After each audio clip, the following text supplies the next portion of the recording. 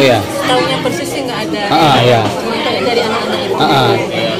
katanya macet mereka, ya, Bu. Ah, katanya mereka malam minggu itu kan jalan-jalan biasa anak nah, jadi masuk di wilayah jalan semasa itu ya. sekitar jam-jam 2an jadi kebetulan pas orang itu jalan ada segerombolan anak-anak ini darah-darah itu jadi mereka mau memingkir yeah.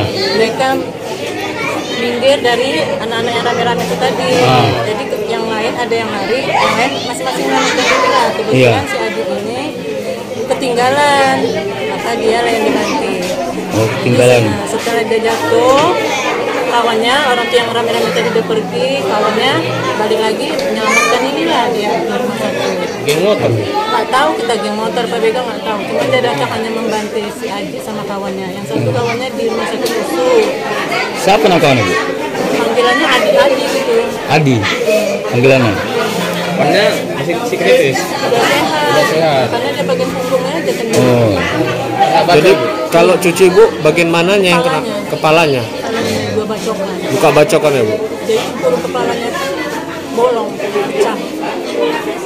Jadi eh, pecah-pecahan tempurung kepalanya itu masuk ke otak itu. Itu yang dioperasi kemarin. Hari Minggu malam Itu di mana operasi bu? di rumah sakit Tamrin. Rumah saya Tamrin. Bunda Tamrin, Bunda Tamrin. Tamrin. Tadinya kan dibawa anak-anak tuh ke rumah sakit Aten. Ya. Tapi karena nggak ada ditindaklanjutin, jadi itulah saya minta bantuan Bapak Rudian Sitorus, anggota Iya. Komisi 3 DPRD. Iya, iya. Dialah yang merekom ke rumah sakit Bunda Tamrin. Oh. Setelah di situlah baru kita lanjutin jam 7 malam baru dioperasi. Minggu malam. Nah setelah operasi, pasca operasi, tak sadarkan diri lah sampai meninggal. Kapan meninggal?